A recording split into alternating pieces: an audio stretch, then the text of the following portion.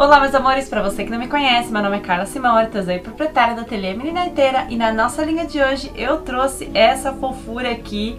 Olha que linda essa sandália, olha que coisa mais show, olha esse detalhe na lateral, olha que coisa mais linda. Essa aqui é a nossa sandália holandesinha, eu falo como você consegue o seu molde logo no começo do vídeo certo? Eu espero que vocês gostem, tenho certeza que você vai tirar de letra esse sapatinho lindo. Então se você já gostou, aproveita e já deixa o seu like, se inscreve aqui no canal, ativa o sininho para receber as notificações, compartilha nas suas redes sociais e agora bora aprender!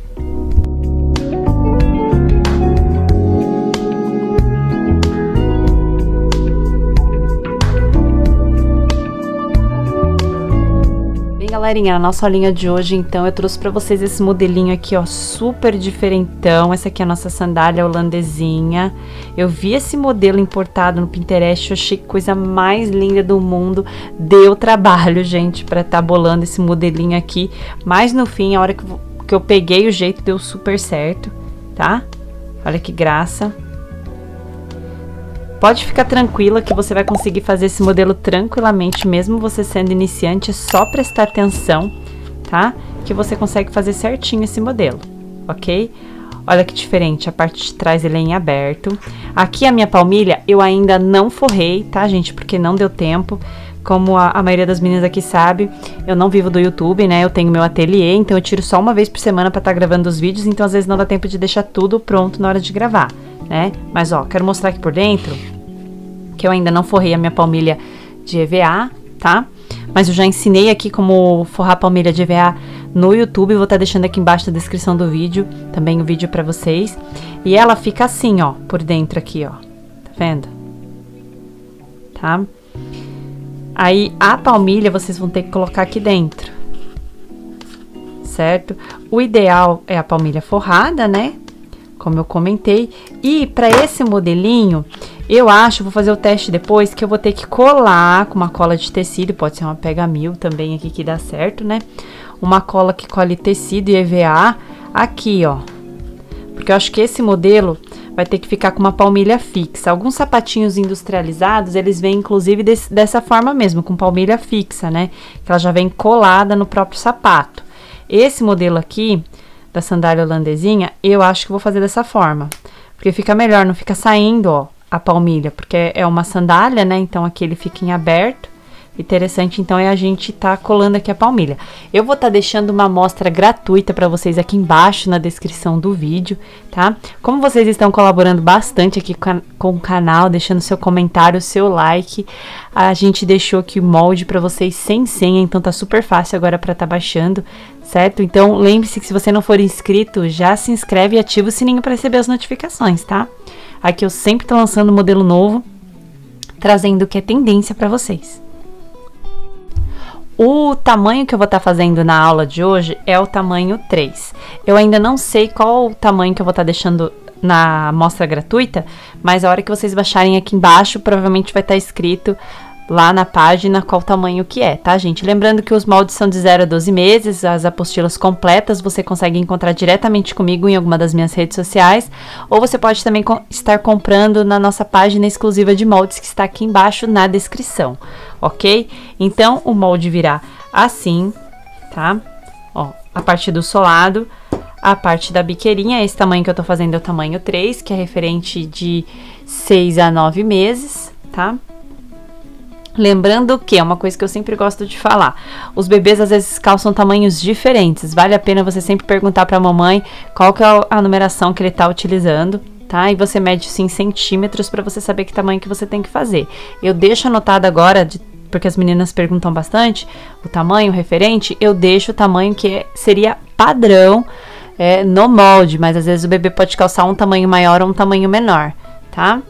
Então vai ficar aí a critério de vocês na hora de estar tá fazendo sua encomenda certo? Então, a parte de trás, a biqueira e o solado. Vou estar também deixando a informação da faixa lateral, tá? Essa faixa lateral que eu estou utilizando aqui é uma juta trançada, tá? Tanto que vocês vão ver que eu vou precisar forrar ela aqui dentro, ó, com viés, porque é, não é interessante deixar essa juta em contato direto com o pezinho do bebê, porque pode agredir, é um tecido muito duro, né? Ele tem um sisalzinho, então ele, o bebê pode ser alérgico a isso. Então é interessante a gente não deixar ele em contato direto com a pele do bebê, certo? Bem, então isso aqui é uma juta trançada. O tecido externo eu tô usando tricoline, tricoline. Fiz um lacinho de tricoline aqui também, tá? O forro eu tô usando meu nylon dublado. Se você quiser fazer a estrutura do seu tricoline, né, ou do seu tecido externo que seja, com manta R1 e usar o forro de tricoline também, pode ser, porque às vezes a sua cidade é muito quente, então o algodão ajuda mais a respirar. Na minha cidade não faz muito calor, então para mim é tranquilo estar tá usando tecidos à base de poliéster. Mas é, se você quiser, você pode estar tá utilizando tranquilamente forro de algodão também, como tricoline, por exemplo tá? Vai ficar a critério de vocês. Eu sempre falo, é, variem, tá? Aqui, por exemplo, você também pode estar utilizando, se você não achar essa, essa faixa aqui, né? Você pode estar utilizando a alça de bolsa, de algodão cru, tá? Existem alças fininhas de um e meio, mas também existem alças só largas. Você pode estar cortando ao meio, passando um zigue-zague para ela não desfiar na parte de baixo, tá? Pode estar improvisando assim também. Pode estar utilizando cadarço chato, sarjado, que eles chamam, né? Um cadarço chato largo de algodão também dá certo, tá? Você pode estar substituindo. Então, o que, que a gente vai fazer primeiro?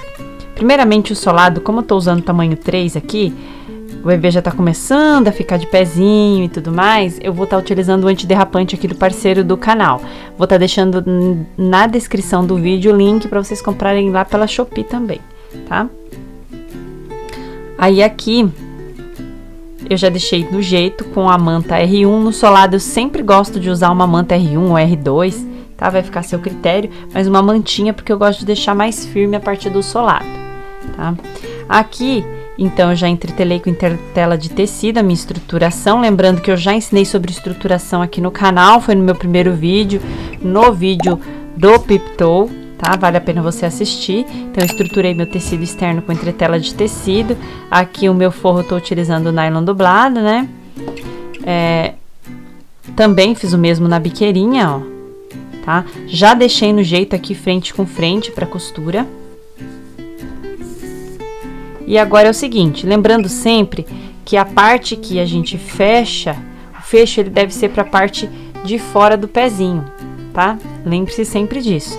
Aqui a gente faz um pé para depois fazer o outro, mas sempre indico para vocês fazerem as duas etapas ao mesmo tempo para você não errar na montagem do seu sapato, tá bom? Lembrando sempre que o molde ele é espelhado, né? Essa parte aqui também é espelhada, tá? Um pé você faz assim, o outro pé você faz assim. Sempre bom lembrar. Só esse item aqui, que tanto faz o lado que você virar, que ele vai ficar no mesmo formato, tá bom? Então, vamos levar para a máquina. E agora a gente vai fazer essa costura, ó, fechando ele até aqui e fechando aqui. As laterais nós deixaremos em aberto. Aqui nós vamos fechar somente aqui. Bem, galerinha, ó, já costurei. Agora a gente vai desvirar Lembrando que a margem de costura que eu utilizei aqui foi de 3 milímetros, tá? Tanto para cá quanto para cá, ok? Aqui a gente pode até tá dando uma cortadinha nas pontas, no lugar onde é quadradinho. Eu até vou dar também uma filetadinha aqui mais nesse forro. Com palito, eu gosto de usar palito de churrasco, né? Com a ponta tirada, ó, gasta. Nós puxamos assim Vamos, ó, empurrando com cuidado. Nós vamos desvirar ele inteiro por esse lado aqui, ou seja, tirei essa parte, eu venho e tiro essa outra parte, empurro esse meu sapatinho todo a, pela mesma saída, tá? Ok? Eu vou empurrar ele todo pela mesma saída.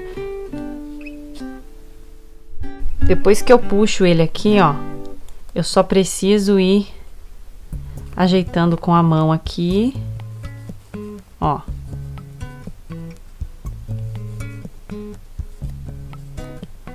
próprio palito você pode ir ajeitando também, puxando.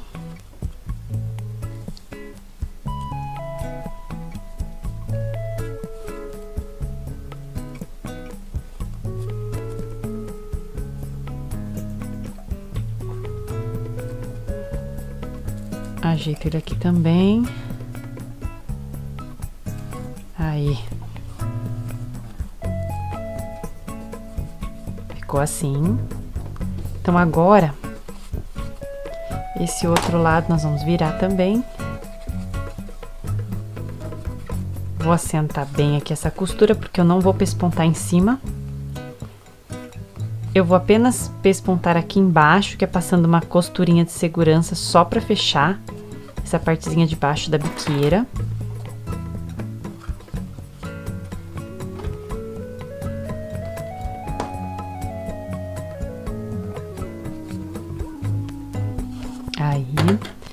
E agora aqui a gente vai pespontar ele inteiro, certo? Depois de pespontada aqui as nossas peças, que é costurinha em volta da peça toda, ó. Essa daqui eu só fiz embaixo, em cima eu não pespontei, mas se você quiser pespontar, pode pespontar. Nós vamos separar aqui e nós vamos mexer com a faixa lateral agora. Eu já dei uma dica para vocês no começo do vídeo, quem não prestou atenção nas substituições que eu comentei, vale a pena você assistir novamente o começo tá? Aqui eu tô utilizando 33 centi 36, desculpa, centímetros, ok? Dessa fita de juta trançada. Eu vou vir com meu viés de 12 milímetros. E vou encostar aqui o máximo que eu puder, tá? Ó. E vamos passar uma costura, tanto embaixo quanto em cima, na faixa aqui, para prender esse forro nessa faixinha aqui. Galerinha, é o seguinte, ó, ficou assim então a nossa faixa, certo? Eu já protegi ela aqui, que é o lugar onde o bebê vai encostar o pezinho. Agora, nós vamos fazer o seguinte. Nós vamos posicionar dessa forma. Vou posicionar assim para vocês entenderem. Nós vamos levar para a máquina de costura. E é isso aqui que a gente vai fazer. Vai contornar essa peça aqui, ó. Lá na máquina, vocês vão ter que ir puxando a faixa, igual quando a gente faz a lateral assim de sapatinho, que eu faço esse detalhe na lateral, a mesma coisa. A diferença é que, ó, eu vou tirar essa parte aqui e eu vou começar só, tá? Pela frente, tá bom? Eu vou começar só pela frente, eu vou colocar ele aqui, tal. E daí, nessa parte aqui, tá? Eu continuo, certo? E passo ele aqui. Esse daqui tem que estar tá encostadinho nesse aqui, ó tá? Ele tem que ficar logo em seguida desse, certo? E aqui a gente só vai deixar para encostar depois. Eu vou mostrar para vocês como é que a gente vai fechar daí. Bem, meus amores, ó, fiz o que eu falei aqui para vocês, ó. Deixei um tanto aqui que seria referente a esse espaço, mas não costurei essa ponta aqui, costurei a partir daqui, ó. Terminei de costurar aqui eu aproveitei também passei uma costurinha de segurança aqui embaixo, para não ficar soltando, certo? Agora é o seguinte, você vai pegar o solado, esse solado aqui foi o antiderrapante, a manta R1 que eu usei, mas pode ser R2, e um TNT gramatura 80, que ele é um pouquinho mais grossinho, tá? Por que, que eu tô usando TNT aqui? Porque esse aqui não vai entrar em contato com o pezinho do bebê. Lembre-se que depois nós vamos estar utilizando a palmilha forrada e eu vou estar tá fazendo o teste, inclusive, de estar tá colando essa palmilha depois dentro desse sapatinho, para ela fi ficar fixa no sapato, né? Mas isso é opcional também. Eu vou fazer o teste, né? Então, isso daqui não vai entrar em contato com o pezinho do bebê. Por isso que eu tô utilizando TNT aqui, certo? Agora, o seguinte, eu vou achar o meu meio aqui.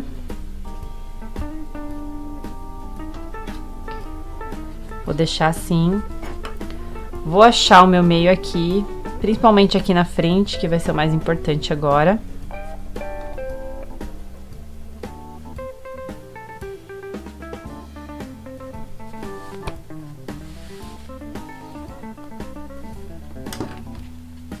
Vou colocar aqui meio com meio, certo? E eu vou fazer o seguinte. Agora eu vou ajeitando essa minha faixa, ó. Quem quiser alfinetar ou clipar, tá? Pode estar tá fazendo, porque eu vou ajeitar essa minha faixa e vou costurando aqui, costurando, costurando, costurando. Eu costuro, né? Peraí, deixa eu ajeitar bem bonitinho aqui, ó. Eu vou costurando ele no solado até eu chegar aqui, tá? Aqui eu não costuro. Essa parte aqui eu não vou costurar, essa parte aqui. Eu vou costurar aqui, eu posso ir ajeitando, ajeitando, ajeitando, ajeitando. E ó, quer ver? Antes de terminar aqui, ó, hora que eu chegar próximo desta faixa aqui, eu também paro de costurar. Vai sobrar um tanto aqui, não tem problema, porque a medida já faço sobrando, tá? Então, antes de chegar aqui, também vai deixar em aberto aqui, não vai costurar. A gente vai deixar essa peça aqui toda em aberto. Bem, ó, preguei então aqui no meu solado, certo? Ó, preguei aqui. Lembrando que é frente com frente, né, ó. Preguei aqui, aqui, até chegar aqui deixei em aberto. Tá vendo, ó? Aqui tá em aberto. Ainda não colocamos essa, essa parte aqui, tá? Ó. Certo? Agora é o seguinte. Vamos virar aqui pro lado correto para vocês poderem entender. Vamos virar.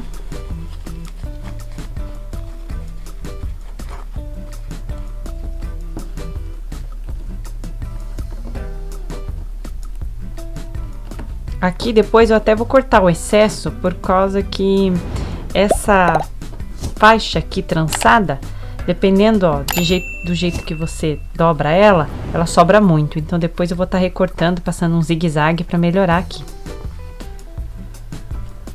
Certo? Ó, virei pro lado correto. Ok? O que, que nós vamos fazer agora? Agora essa parte que tá aqui, dessa forma, nós vamos unir aqui. Sobrou bastante de um lado, sobrou menos do outro, né? Ó. Vou unir desta forma. Vendo, ó? Frente com frente. Ó. Do jeito que ela pegue retinho aqui, fique certinho. E nós vamos passar uma costura.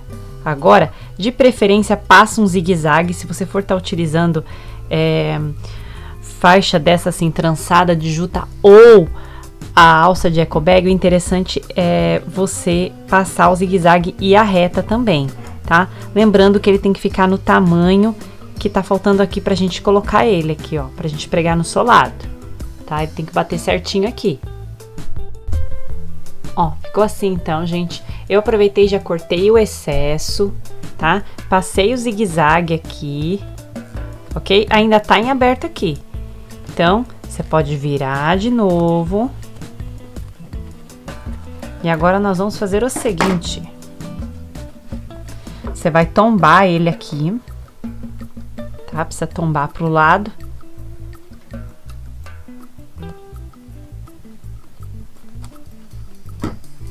E vamos sobrepor aqui, ó. Certo? Então, eu tombo aqui, sobreponho Deixo ele encostadinho aqui na minha parte da frente e vamos passar a costura reta aqui, tá? Depois, se ficar um excesso, você pode estar tá passando a tesoura e passando um zigue-zague aqui na sua peça, tá bom? Se essa faixa aqui, ó, ficar sobrando, como no caso a minha, a minha eu vou fazer isso. Agora que já tá a costura reta pronta, em volta do sapatinho todo, eu vou, recorto o excesso e daí eu faço um zigue-zague, certo? Então agora primeiro costura reta. Depois a gente recorta o excesso e faz o zigue-zague. Gente, uma outra coisa que eu quero mostrar aqui pra vocês. Depois de costurado, ele fica em aberto aqui, certo?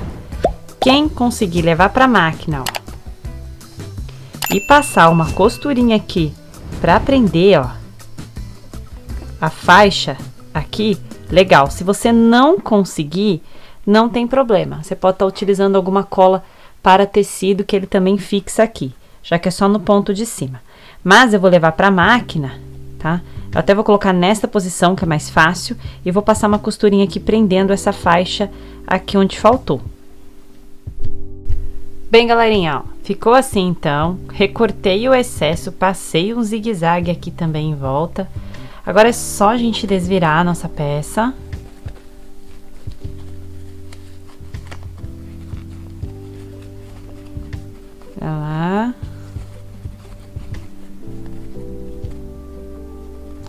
Fica perfeito aqui o encaixe, né?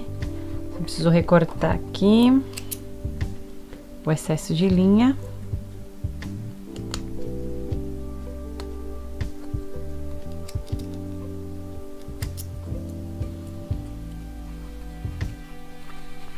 Aí. Ele fica assim aqui, então.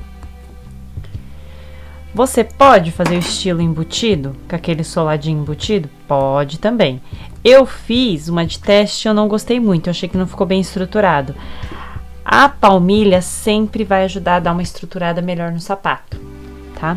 Como eu falei, agora é só forrar a palmilha e vou tentar embutir ela aqui pra ver como é que vai ficar.